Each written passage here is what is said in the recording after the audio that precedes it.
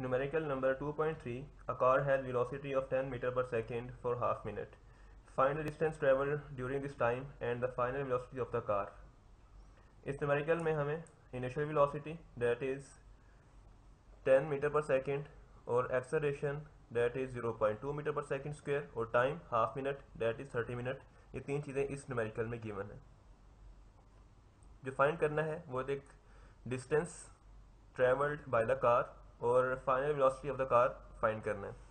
तो distance find करने के लिए second equation of motion that is V I T plus half A T square और final velocity of the car find करने के लिए V F equals V I plus A T solution distance find करने के लिए second equation of motion इसमें values put करें।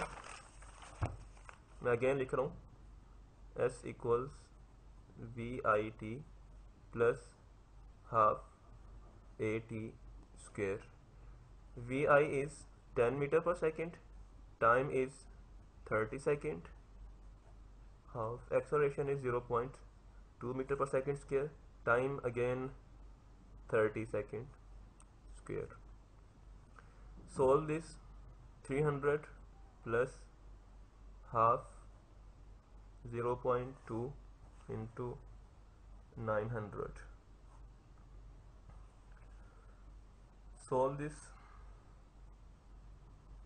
300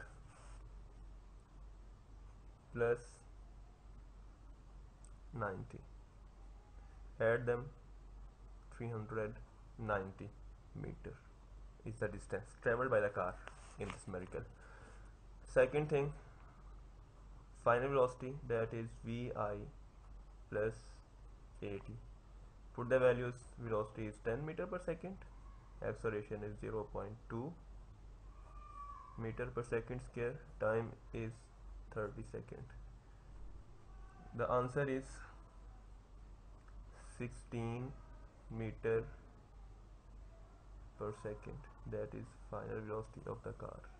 The initial velocity was 10 the final velocity is 16 meter per second